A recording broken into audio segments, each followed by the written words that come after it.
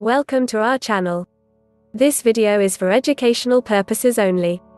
The information presented is in no way intended to diagnose or prescribe.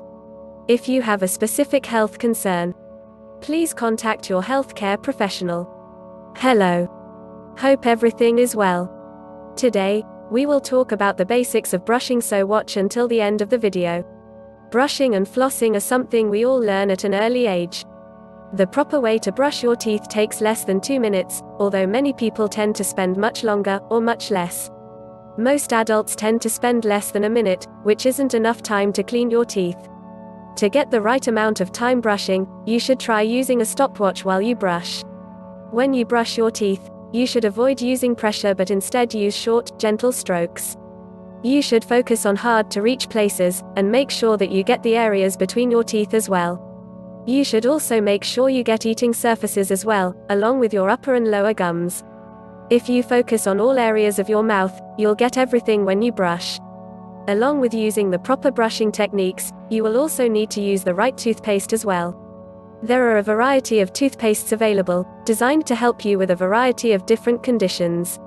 You can get toothpaste that will prevent toothaches, stop sensitivity, and prevent things such as tartar and gingivitis.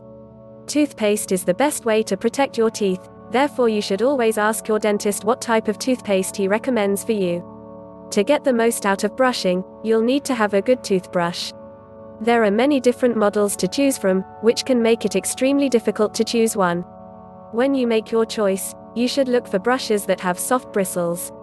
Soft bristles are easy on your gums, and they will remove plaque and other debris from your teeth. A small head is also preferred, as it can easily reach hard to get places, such as your back teeth. You should also remember to replace your brush every couple of months, or when it starts to show signs of wear. If you've had a cold, you should replace your toothbrush, simply because the bristles can contain germs that could get you sick all over again. Toothbrushes that show wear should always be replaced, as they can have an impact on your gums. If the bristles start to get worn down, they can tear away at your gums, leading to sensitivity. To get the most from your brushing, you should always use a bit of common sense and ask your dentist for his recommendations. Brushing your teeth will help keep them healthy and prevent the buildup of plaque and tartar. Keep in mind that brushing does help your teeth, although you still need to go to your dentist for regular checkups. If you take care of your teeth and brush them on a regular basis, you will keep them free of infections and cavities. Stay healthy and strong. That ends our video for this time. Click on the following in the description box below for more information.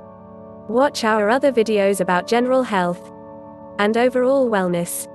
Please like, follow, subscribe, and click the notification button on our channel for our other videos.